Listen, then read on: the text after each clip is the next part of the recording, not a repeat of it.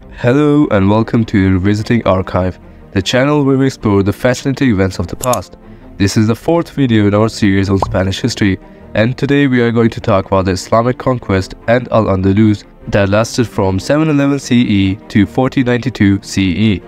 Before we begin, make sure to subscribe to our channel and hit the bell icon to get notified of our new videos. Also, if you enjoy our content, please give us a like and share with your friends. Thank you for your support. Now, let's dive into the history of Al-Andalus, the name used by the Muslim population of the Iberian Peninsula for the territory that was under Muslim rule for almost eight centuries.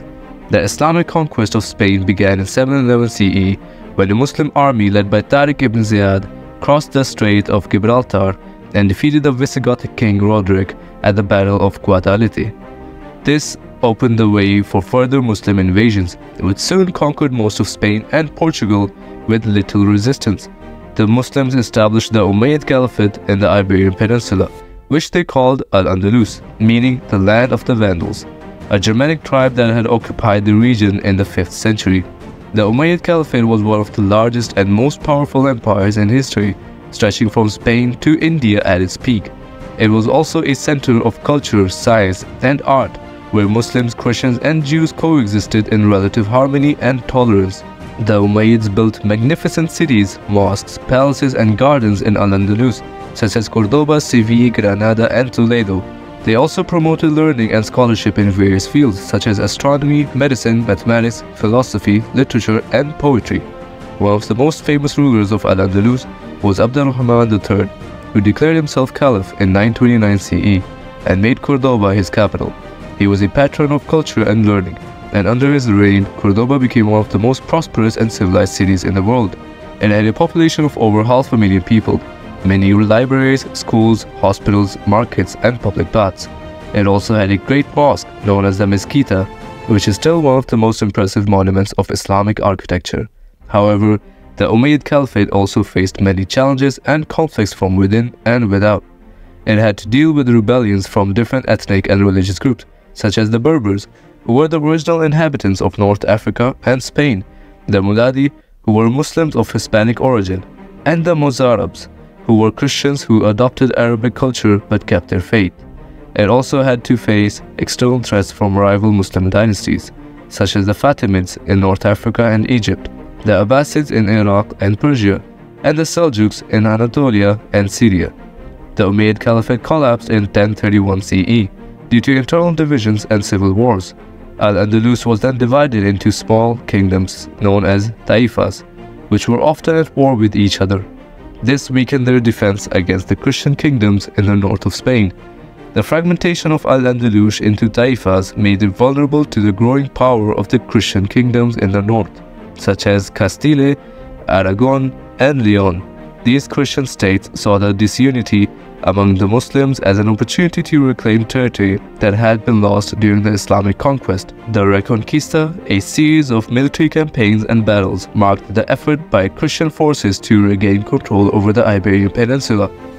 During the 11th and 12th centuries, the Christian kingdoms gradually pushed southward, capturing major cities like Toledo, Valencia, and Seville. This slow but steady advance led to the eventual fall of the Taifa kingdoms one by one as they were absorbed into the Christian realms. One of the significant turning points in the history of Al-Andalus was the capture of Toledo in 1085 by King Alfonso VI of Castile. This event significantly altered the battle of power and demonstrated the resolute determination of the Christian forces.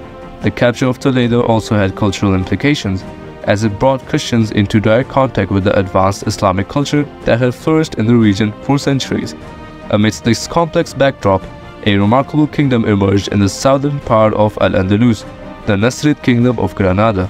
The Nasrid dynasty managed to survive for several centuries due to a combination of diplomacy, alliances, and a relatively strong military. The Nasrid rulers established the stunning Alhambra Palace complex, which stands as a testament to the architectural and artistic achievements of the Islamic Spain. However, by the late 15th century, the pressure on Granada intensified, the marriage of Ferdinand of Aragon and Isabella of Castile, along with their military campaigns, paved the way for the final chapter in the history of Al-Andalus, the last Muslim stronghold. The Emirate of Granada fell in 1492 after a long siege, marking the end of Islamic rule in the Iberian Peninsula. The conquest of Granada led to significant changes, including the expulsion of Jews and Muslims from Spain during the Spanish Inquisition. This marked the end of the coexistence and cultural exchange that had characterized Al-Andalus for centuries. In conclusion, the history of Islamic conquest and Al-Andalus in Spain is a complex and multifaceted narrative that spans nearly eight centuries. It encompasses the rise and fall of empires, the exchange of ideas and cultures, and the clashes between different faiths and civilizations. Al-Andalus remains a testament to the potential for coexistence and the influence of diverse cultures in shaping the course of history. Thank you for joining us on this journey through the history of Al-Andalus. If you found this video informative, don't forget to give it a thumbs up and share it with others who might be interested. Make sure to subscribe to our channel for more explorations of historical topics. This is a Revisiting Archive. Until next time.